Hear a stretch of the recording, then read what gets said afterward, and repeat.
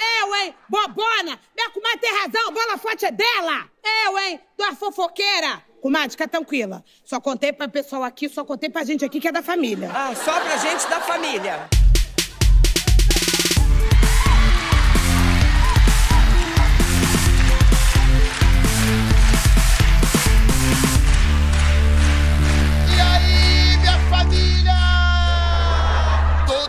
Preparado para ser entrevistado pelo Paulo Vieira?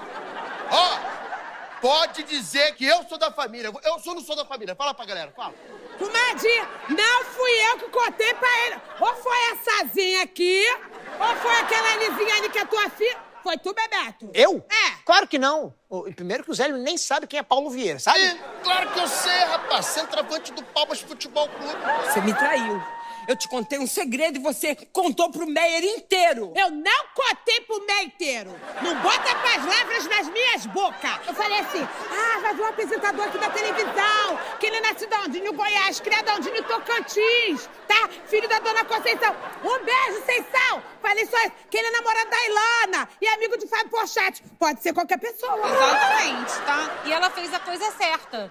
Imagina Paulo Vieira vem aqui e não conhece toda a família. Ele ia embora com uma impressão negativa da gente. Tá vendo, comadre, que eu fiz a coisa certa? Você fez a coisa certa, eu sou tua amiga, cara. Eu te contei um segredo, uma intimidade minha. Sabe qual é o nome disso que você fez? Fofoca! Comadre me chama de tudo. Me chama de piranha, me chama de qualquer coisa. Agora, fofoqueira não. Se tem fofoqueira, é essas aqui, tudo pra cá de sacola. Olha só, eu não fiz fofoca. Eu só prometi autógrafo pra galera que trabalha comigo. Pô, os motoristas, os cobradores, os passageiros, ainda que tem ônibus. Quem quer autógrafo do Paulo Vieira? Agora, tá vendo? Eu tô levando a fama até deitar na cama. Mas não tem problema não, comadre.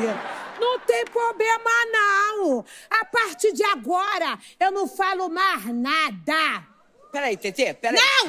Acabou! Não falo mais nada. N-T-U-A-W. Nada!